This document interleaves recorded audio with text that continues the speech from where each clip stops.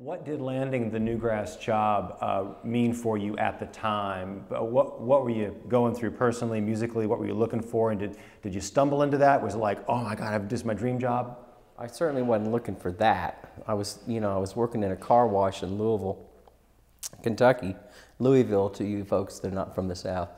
And uh, I was in a band uh, at that time, and we were like a Yes, um, imitation of Yes. In fact, her name was You.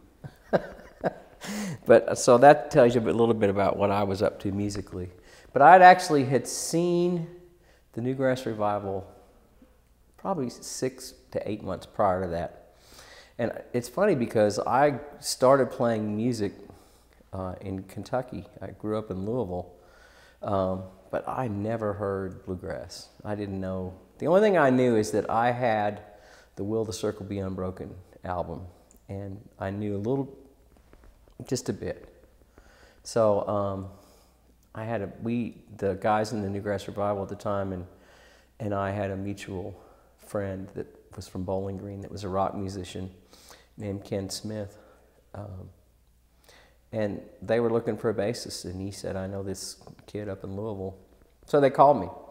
And I drove down to Barren County, Kentucky, which is central western Kentucky. And it was a culture shock for me.